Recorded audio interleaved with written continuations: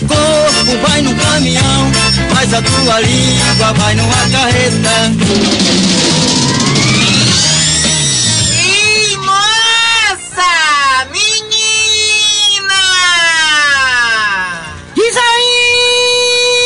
Jabapô de Oia. Olha só, Frouxilda, quem tá vindo ali? O alma de gato, menina. Vamos ver o que é que ele tem pra dizer pra gente desta vez. E pelo jeito ele tá injuriado com alguma coisa. O que foi que o bicho que mordeu o alma de gato dessa vez, hein? Riegma, Riegma, covardia, mas Riegma, que isso, mas Riegma?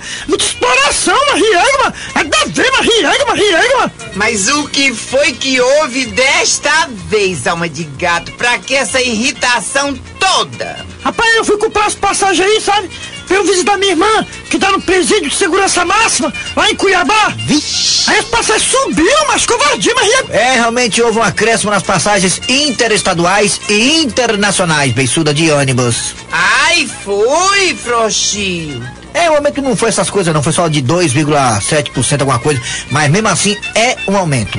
Pois é, mas teve o dinheiro contado, mas pra pagar passadinha de volta e para duas vezes pra merendar, mas.